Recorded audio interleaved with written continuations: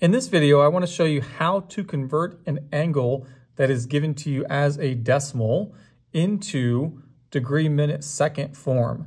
So here we have the angle 125.64 degrees. We are going to simply begin this by working on the decimal part of this angle, the 0.64. What we're going to do is take 0.64 and multiply it times 60 because there are 60 minutes in one hour. So if I use my calculator to multiply 0.64 times 60, we get 38.4. That's 38.4 minutes. But I don't really want the 0.4 of a minute.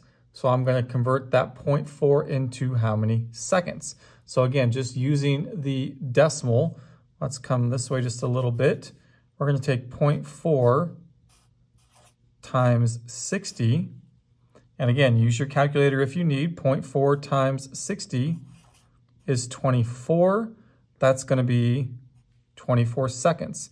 If we put this together, and we're going to put together these parts that I'm going to underline, 125 degrees 38 minutes and 24 seconds, our answer is going to look like this.